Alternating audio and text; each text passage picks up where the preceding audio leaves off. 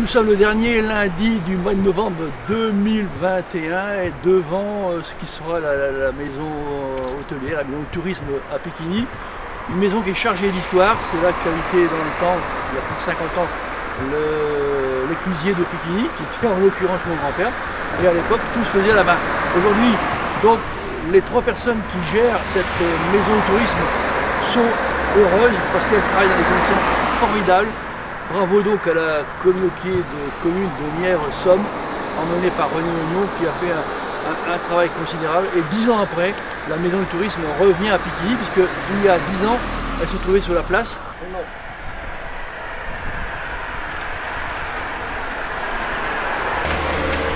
Bonjour. Bonjour. Ça va? Ça va et vous? Ça va très très bien, merci. dans la maison du tourisme? Et je suis très heureux, et avec moi plus tard les habitants de Pigny et des environs qui prendront connaissance de ce superbe bâtiment. Bah ouais. Hein, surtout euh, quand il sera beau, hein, l'été. Hein. Mais le cadre est magnifique, parce qu'il y a la maison, c'est vrai. Il y a tout l'environnement, les écluses, la Somme. Il y a aussi la base nautique qui est à côté, et franchement, Et puis on a le château. Le euh, château, tout à fait, la colline. Ouais, non, non, tout fait partie on a un village magnifique. Et les gens qui, arrivent ici euh, pour la première fois, bah, ils sont enchantés de découvrir un village qui, n'est pas assez connu, on ne peut pas assez savoir. Alexandre, bah, je suppose que vous n'êtes pas en pays inconnu ici, vous connaissez un petit peu Piquini Oui, tout à fait, oui, je suis un, enfant de Piquini, comme on peut dire. Euh, j'ai passé ma jeunesse ici, oui, je connais très bien le village. Et vous pensiez un jour vous retrouver ici? Ben non, c'est vrai que je ne pensais pas travailler un jour à Piquigny euh, quand j'étais plus jeune, mais euh, donc on était à, à sur somme depuis, depuis 2011 et donc du coup on arrive ici à C'était petit quand même à Is-sur-Somme hein Oui, les locaux devenaient assez petits, euh, en saison notamment avec les saisonniers et tout ça, c'est vrai que c'était petit.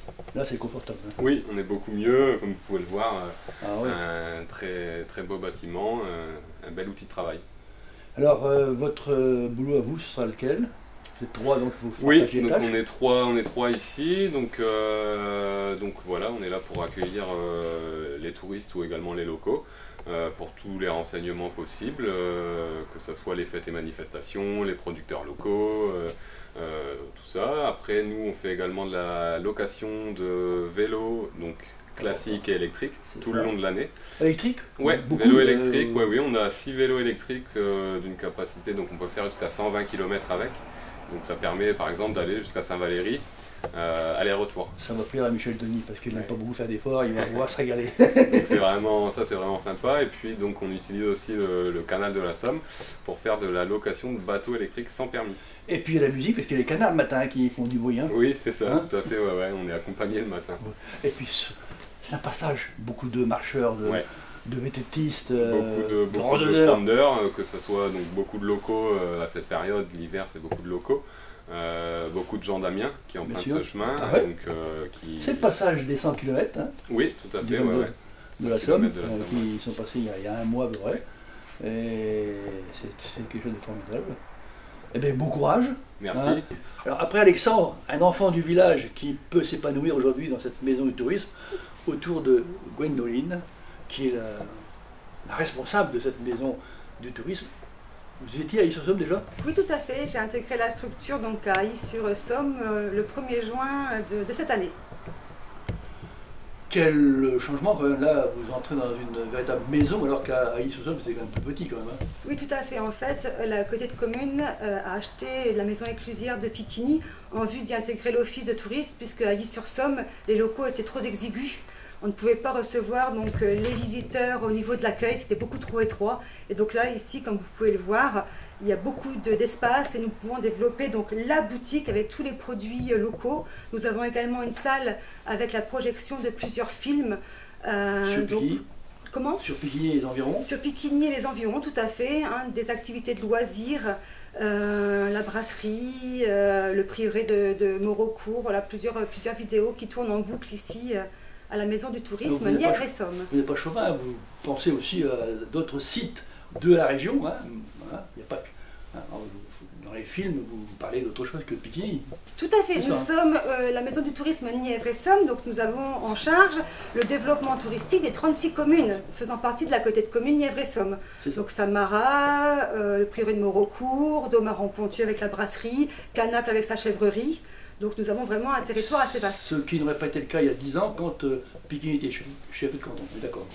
Alors, votre tâche à vous, outre de faire marcher cette maison de tourisme, est-ce que vous êtes soumis à des problèmes euh, dire, financiers? Est-ce que vous devez faire des bénéfices? Est-ce que non Pas du tout, non alors, je suis chef d'orchestre et euh, nous sommes un service public, un service de la côté de commune. Donc, euh, comme un service public, nous ne faisons pas de, bénéfices, nous ne vendons pas assez de prestations pour pouvoir rentabiliser le, service. Mais nous avons quand même une rentrée d'argent avec les produits locaux, la location des vélos classiques, vélos électriques et aussi nous avons quatre bateaux électriques.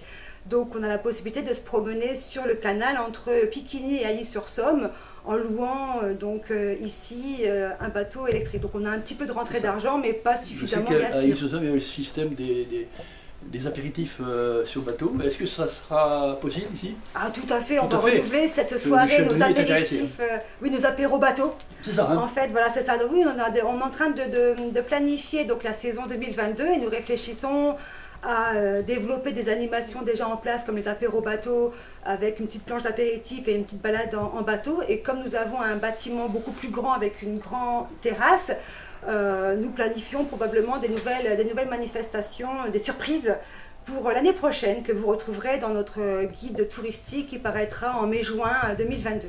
Vous parlez de la terrasse euh, elle sera terminée, elle fonctionnera au printemps quand il fera beau, bien sûr. Tout à fait, voilà, c'est ça. La terrasse là est ouverte, mais il n'y a pas encore le mobilier. Hein, nous devrions recevoir le mobilier donc euh, cet hiver. On peut avoir l'apéro, n'importe qui du village peut venir euh, comme si c'était euh, au bistrot, sauf que c'est en plein air et puis le cadre est magnifique. Tout à hein. fait. Je tiens à préciser que nous avons la licence 3 nous permettant justement de vendre de l'alcool à faible degré. Et nous avons également du café, du thé donc, et des jus de pommes. Et des restaurations rapides peut-être aussi, vous euh, restauration rapide, non. Uniquement les planches apéro bateau lors de manifestations. Nous ne pouvons pas, nous n'avons pas de cuisine ou de chambre froide pour faire une, proposer une restauration. De plus, nous avons euh, deux euh, restaurants sur, la commune, donc on ne veut pas faire d'ombre, comment dire, au commerce déjà existant. Vous êtes ouvert actuellement, on est l'hiver, 5 jours de la semaine. Je suppose que dès qu'il va faire beau, vous ouvrirez le samedi et le dimanche. Oui, tout à fait. Donc là, ouvert du lundi au vendredi. Et puis dès le mois de, de juin, nous allons ouvrir 7 jours sur 7. Hein, euh, et c'est surtout la location des bateaux et des vélos qui, euh, qui euh, nous permet d'ouvrir le samedi et le dimanche parce que nous avons une forte demande. C'est un, lieu de passage ici, mais vous savez que Pigny, il y a aussi le château, les amis de la collégiale. Il y a des visites là-haut, peut-être que vous allez travailler ensemble pour que les gens qui viennent là-haut puissent vous rendre visite après ou avant. Ah, tout à fait. Ici, on a vraiment un, plus fort potentiel que sur Aïs, sur, sur Somme.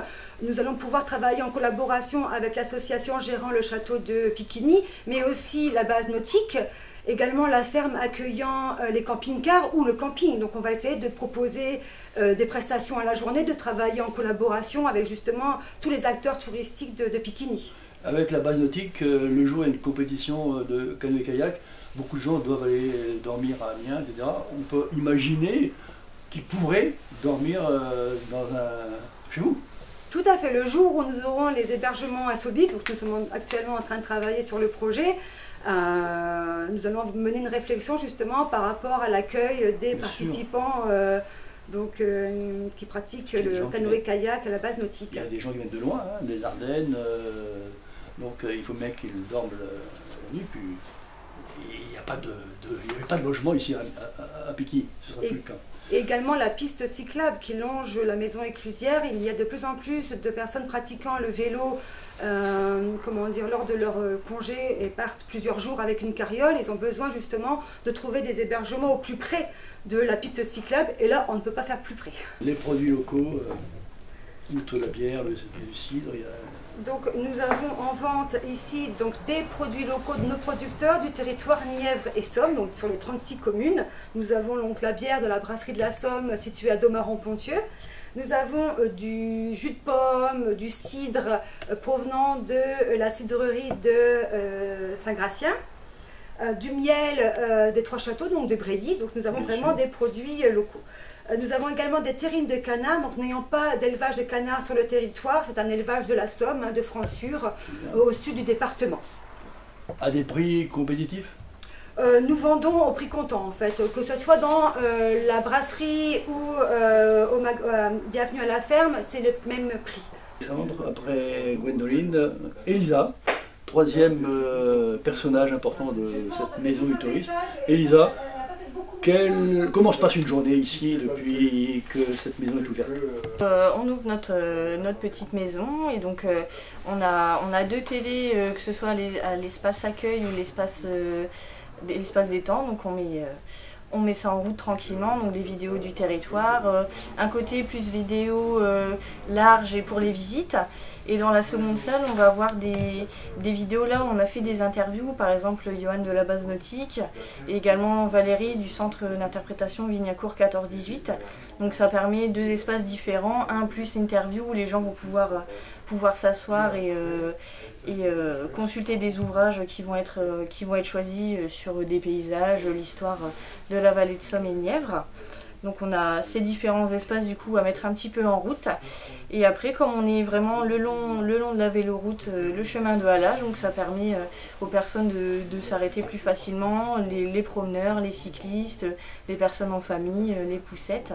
Et on a un parking qui est pas très loin, qui est au niveau de la gare la gare de Piquigny, donc qui permet aussi aux gens au niveau bah, avec la SNCF de, venir jusqu'à nous et puis euh, visiter, euh, visiter le territoire. Pas le temps de s'ennuyer. C'est ça, pas le temps de s'ennuyer. On, a, on, a, on est un petit peu maintenant un point central par rapport à, à. Là, on est près de Samara, on a le château et la collégiale, la base nautique, donc ça fait vraiment un petit pôle, euh, petit pôle touristique. Les responsables de Samara sont déjà venus vous rendre visite, non?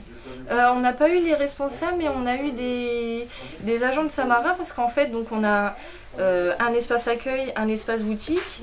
Tout au fond, nous allons avoir une grande bibliothèque avec euh, les ouvrages en boutique et des ouvrages à consulter. Et pour en faire la décoration, ils nous ont prêté des poteries, des bois de serre, des choses comme ça. Donc on a un petit peu déjà une participation de, Samara pour Et donc je pense par la suite, les responsables vont venir aussi jeter un petit coup d'œil. Plein d'enthousiasme pour démarrer cette année 2022. C'est ça. la Maison du Tourisme, ça fonctionne bien sûr grâce au travail fourni par les employés, mais il y a aussi tout ce travail de communication, euh, des réseaux sociaux, dans le bon sens bien sûr. Euh, comment ça va se passer? Alors moi en fait euh, bah, je gère tout simplement la, mise à jour du site internet un petit peu aussi avec Alexandre qui va gérer toute la partie des animations. Hein. On, recense toutes les animations du territoire, que ce soit nos propres animations, les soirées apéro bateau, des initiations en collaboration et puis les petites animations des communes.